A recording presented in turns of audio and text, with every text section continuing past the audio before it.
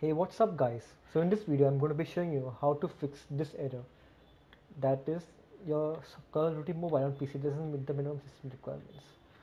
So in the last video I had shown you how to download and install an emulator to play Call Duty mobile. That is you open the emulator you sign in you install download and you sign in with Google Play. Just like all this. I'm just giving you a quick uh, recap of everything and after you go into the play store you can just go ahead and install it. And then you can go ahead and open it. Like this.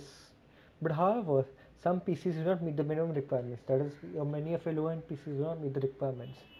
And your screen will flash and it will show you an error like this.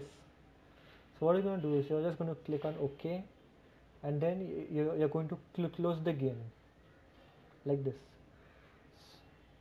so now as you can see on the top corner you will see a settings option. This option will be a system default but you're going to change it to 1920 into 1080 and in engine you're going to increase the, the RAM to a lot. It will be at around 900 over here but you're going to increase it to a significant amount. Do not increase it full but all but more than halfway there.